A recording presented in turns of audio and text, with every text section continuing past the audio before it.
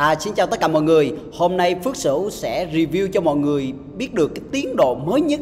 của cái phân khu Zai River County One dự án Zai Ga Nhà Bè. À, như mọi người đang nhìn thấy thì Phước Sửu đang quay một cái cây cột điện rất là lớn phong cả nhà. Đây là một cái đường dây 220 kV đi ngang qua cái phân khu đầu tiên là phân khu 1.1 và có một cái dấu hiệu rất là tốt mọi người nhìn ừ, kỹ vào trên cái cột điện ha có 4 đến 5 công nhân đang leo lên trên cột điện. Chứng tỏ cái cây cột điện này là đang là đã được cắt điện rồi. Và ở dưới nè mọi người nhìn thấy ở dưới uh, cột điện thì có cũng khá nhiều công nhân đang uh, cùng nhau hỗ trợ và tháo gỡ những cái đường dây điện này đi. Thì đây là một cái dấu hiệu rất tốt cho cái phân khu đầu tiên của à, dự án Zai River Country One. Bởi vì à, đã bàn giao tiến độ cũng hơn nửa năm rồi nhưng mà những cái cây cột điện à, trong những cái phân khu này à, chưa được bà gỡ đi và bàn giao gọi là nhà mà đầy đủ những cái à, à tiện ích cho à, quý khách hàng thì hôm nay á, là có một cái dấu hiệu rất là tốt. Tất cả các công nhân ở đây nè họ đã là um, gỡ những cái đường dây đi và trả lại mặt bằng à, sắp tới thì à, những cái phân khu à, của à, dự án Giai Khai Nhà Bè sẽ không còn đường điện cao thế đi ngang qua nữa. À, thay vào đó thì chủ đầu tư sẽ làm những à, cái đường âm à, bên ngoài của dự án để đưa những cái đường điện à, 220 kV và có thể nắng cái đường điện à, 500 năm à, 500 kV à, đi thêm một hướng khác và sắp tới mặt bằng và dự án của Giai gai Nhà Bè à, không tồn tại đường điện cao thế như ừ, nữa phong cả nhà? À, theo như mọi người nhìn thấy trong video thì à, à, một cái tín hiệu à, cực kỳ à, à,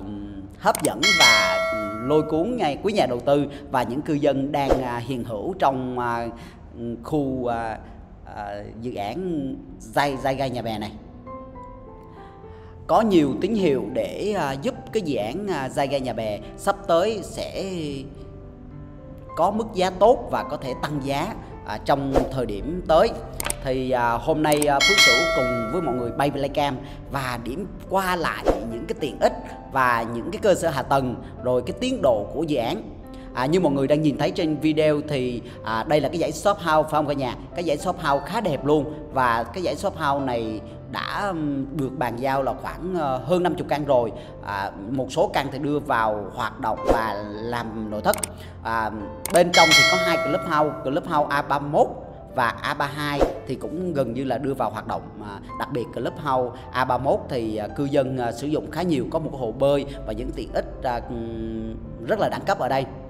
À, tất cả những cái công viên nè à, sát bờ sông à, bên này bờ sông và phía bên phân khu 2 là dây Educoti à, được chủ đầu tư mở rộng ra và làm bờ kè.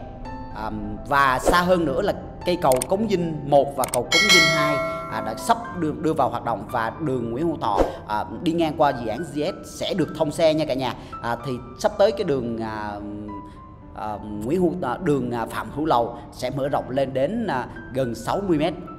rồi, à, đây là mọi người nhìn cái cổng chào của cái phân khu đầu tiên là phân khu Zai River Country One. à, trong đó có 60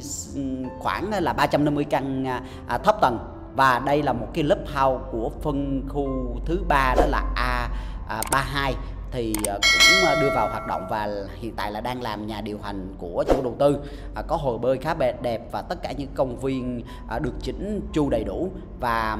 ở đây, như mọi người nhìn thấy thì cây xanh đã phủ rợp bóng và rất là nhiều loại hoa thi nhau đua sắc rồi. Thì là một cái dấu hiệu rất là tích cực và đưa GS Nhà Bè là một cái tầm cao mới, khẳng định đây là một cái nơi đáng sống